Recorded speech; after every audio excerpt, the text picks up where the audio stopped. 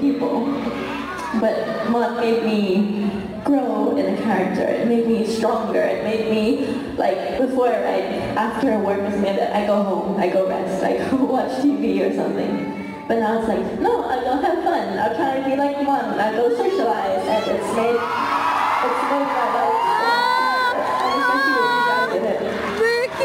Amazing. Thank you.